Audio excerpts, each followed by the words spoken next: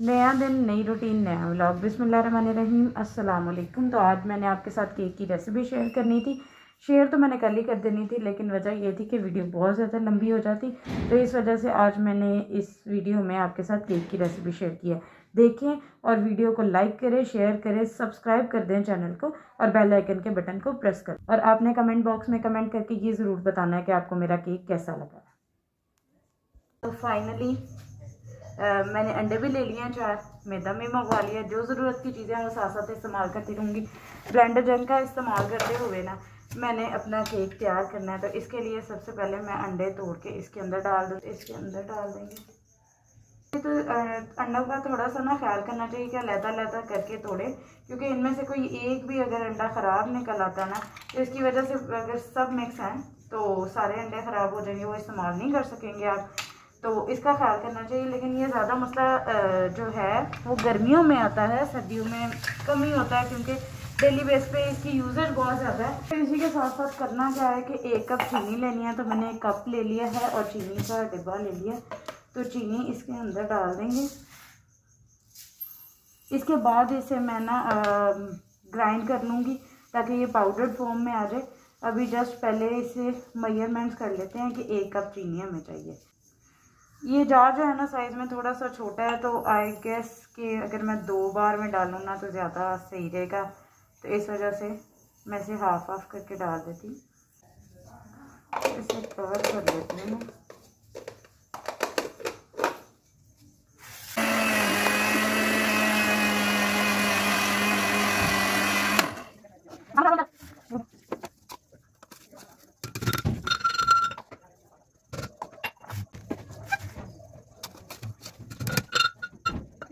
अंडे और चीनी डाल दी।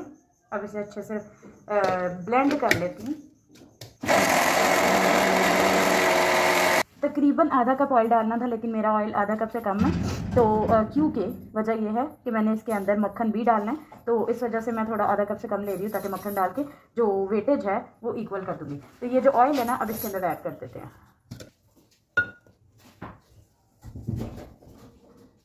एक चम्मच मक्खन ले लिए, वो इसके अंदर डाल देंगे। ये ऐड कर दिया। करीब करीब आधा कप जो है, वो मैंने कच्चा दूध ले लिया है। ये बिल्कुल भी गर्म नहीं हुआ हुआ बॉयल बिल्कुल भी नहीं है तो वो भी इसके अंदर ऐड कर देंगे। अब इस टोटल मिक्सचर को हमने ब्लेंड करना है। ये बाउल अब इस्तेमाल करेंगे मिक्सिंग के लिए, जो कि टोटली ड्राई है। और ये मिक्सचर जो कि हमने उसमें तैयार किया है, ये इसके अंदर ऐड कर देंगे। ठीक है? ये एक स्टेनर ले लिया। स्टेनर के अंदर ये हम मैदा डाल देंगे ऑल पर्पज़ फ्लावर और ये बेकिंग पाउडर है और ये वो स्पून जिसके साथ हमने डालना है, तीसरा वाला इस्तेमाल करेंगे। इस पर मेजरमेंट्स लिखी हुई हैं तो इस पर वन टीस्पून लिखा हुआ है वो, जो कि इसी कलर में लिखा था, इस वजह से शायद कैमरा में नज़र ना आ रहा हो तो ये मैं पहले खोल लेती हूँ। वन टीस्पून लेवल रख के इस्तेमाल करना है। और ये इसके अंदर डाल देंगे। बेकिंग सोडा डालने की ज़रूरत नहीं है। बेकिंग पाउडर भी काफ़ी है। ये हो गया इतना क्वार्टर टी स्पून हमने इसके अंदर फ़ूड कलर ऐड करना है, जो हमने इसके अंदर ऐड करना है, ताकि एक अच्छा सा प्यारा सा मेरे केक पे कलर आ जाए। केक खाने में बेशक बहुत मज़े का बन जाएगा वैसे, लेकिन उसका कलर भी बहुत ज़्यादा मैटर करता है। तो मैं चाह रही हूँ कि मेरा केक हर लिहाज से परफेक्ट बने। तो इसी वजह से मैं हर मुमकिन कोशिश कर रही हूँ कि केक बेहतरीन बने। अच्छा ये हो गया। अच्छा जैसे जैसे इसे मिक्स करते जाएँगे ना तो वो जो फ़ूड कलर हमने डाला है ना, उसका कलर इस मिक्सचर के अंदर आता जाएगा। अच्छा जी तो इसकी सारी मिक्सिंग हो गई है। ये प्रॉपरली मिक्स हो गया है विस्क हो गया है। इसे साइड पे करते हैं और मोल्ड देख लेते हैं।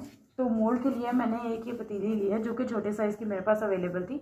मेरे पास इसके अलावा ये बाउल भी थे, और जो कि छोटे साइज़ के केक अच्छा बन सकता है, लेकिन इसमें मुझे फिर दो बार बेक करना पड़ेगा, क्योंकि ये मिक्सचर मेरे पास काफ़ी ज़्यादा है। तो इसी वजह से मैंने सोचा कि मैं एक ही बार में इसके अंदर बेक कर लेती हूँ। ऑयल लगा लिया है, और प्रॉपरली इसकी साइड्स पे भी इसे ग्रीस कर देते हैं। क्योंकि ये पेपर लिया, ठीक है, इसकी कटिंग कर ली है, जो कि प्रॉपरली इसके अंदर फिटेड फॉर्म में आ जाएगा। ठीक है ये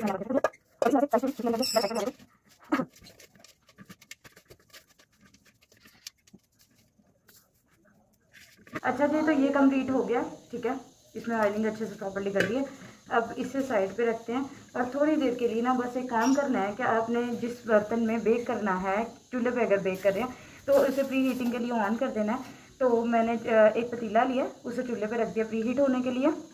बीस मिनट पहले कर देना है। और इसके बाद इसे करते हैं। ये मिक्सर इसके अंदर डाल देंगे।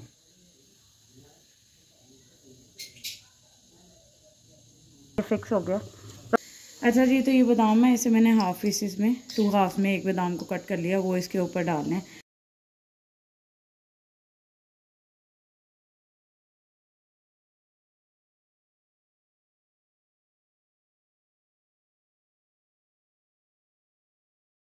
चुका है पतीला प्री हीट हो गया इसे ना उसके अंदर रखते हैं। ये प्रॉपरली तैयार है इसे साइड पर रखते हैं। और इसे इसके अंदर हाथों को अपने इस पॉइंट पर बहुत अच्छे से बचाना है। तो ये हो गया। अब इस ए, जल्दी से एक स्टील की प्लेट ले लिए और एक पुराना पूना ले लिए। इससे स्टैंड को सेंटर से उठा लेंगे। प्लेट को उल्टा करके रख देंगे। यहाँ पर बिल्कुल सेंटर में कर देते हैं। ठीक है? वो उल्टा कर ये रख देते हैं। तो अब ये पतीली काफ़ी नीचे जा चुकी है। इसे ऊपर से कवर कर देते हैं। और इसकी साइड्स को भी प्रॉपरली कवर करना है। एयर टाइट कर देना ताकि हवा कोई अंदर ना जाए। ऑलमोस्ट थर्टी फाइव मिनट्स का वेट करेंगे। जब तक ये बेक होता है, फिर मैं आपको दे अच्छा जी तो काफ़ी टाइम गुजर गया है। मैंने इस तरह से एक पोने से कवर करके रख दिया था। केक देख लेते हैं। तो ये अभी तक तो फूल के बहुत ही खूबसूरत सा ऊपर से तैयार हो गया ये रेडी नहीं हुआ तो इसे मज़ीद बेक कर लेंगे। अगर हो गया होगा तो इसे उतार लेंगे। तो बिल्कुल ये पूरी तरह से ड्राई है। मेरा केक प्रॉपरली बेक हो चुका है। ये इसे ना इस तरह से प्रॉपरली कवर्ड करके हाथ को फिर आपने ये अंदर वाली पतीली उठानी है और बिना जले और ये सही तरह से आ जाए यहाँ पर मैं स्टैंड के ऊपर रख देती हूँ। अब इसे कोई बड़ा बर्तन लेके ना, अब ये एक बड़े साइज़ की मैंने प्लेट ले ली है, ये देख लें, ठीक है? इस तरह से इसके ऊपर रखेंगे। पतीली काफ़ी गर्म है तो उसका बड़ा ख्याल करने की ज़रूरत है। इसे इस तरह से मैं टर्न कर ये लें जी अब ये आसानी से निकल गया। ये काफ़ी ज़्यादा गर्म है, हाथों में उठाया नहीं जा रहा।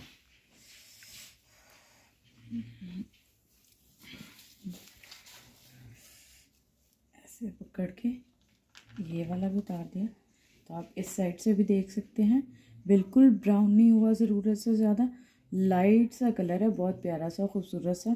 तो इसे यहाँ पर इस तरह रख देते हैं।